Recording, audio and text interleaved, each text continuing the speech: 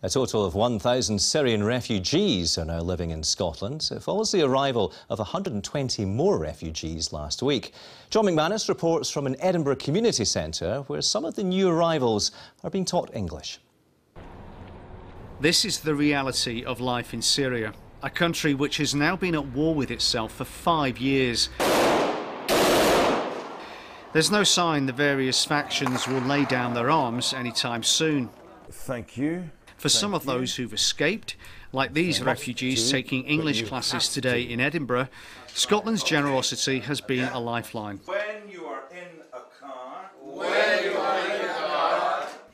Passing the 1,000 person mark means that Scotland has taken about a third of the entire UK total of refugees from Syria in the last year. English lessons are just one of the classes that refugees are offered here at the Welcoming Centre. It's a skill that they'll need to get their heads round and become proficient in if they want to make a success of their time in Scotland. But one of those who's come from Syria says he may not stay forever. Maybe not now. When the Syria is will be good, I, I will come back. Yeah, because my family in Syria now. Yeah, my, my sisters and my my brothers are in Syria now. Yeah, because Syria is very nice, very good. Yeah. Naraz has worked in telecoms and sales, skills that Scotland can use.